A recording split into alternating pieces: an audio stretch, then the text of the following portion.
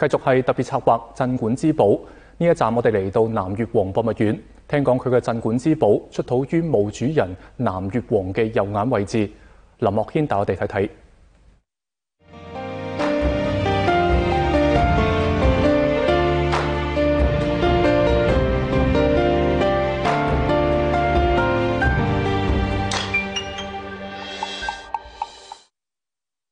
喺廣州市人民公園有一處城市圓點標誌，龍飛鳳舞造型獨特。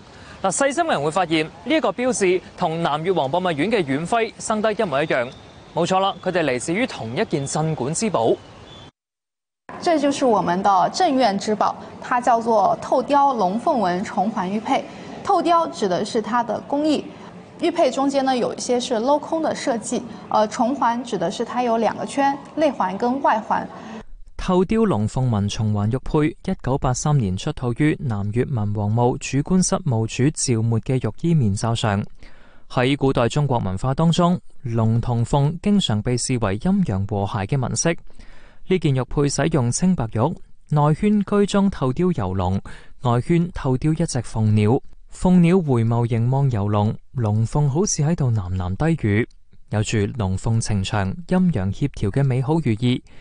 因此被选为南越王博物院嘅院徽。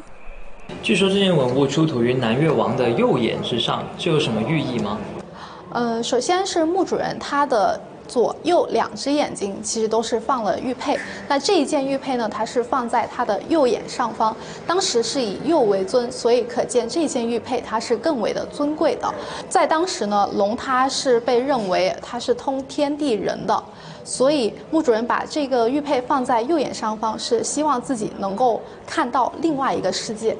就他们认为玉能够使屍生不朽，引导灵魂升天。所以我们在南越王的这个墓葬当中是使用到了非常多的玉，包括他身上穿着的就是这件丝缕玉衣，总共是用了两千两百九十一块玉片。千年磨砺，温润有方。喺古代，玉系礼嘅象征。比喻嘅系君子嘅品德，代表嘅系女子嘅美好。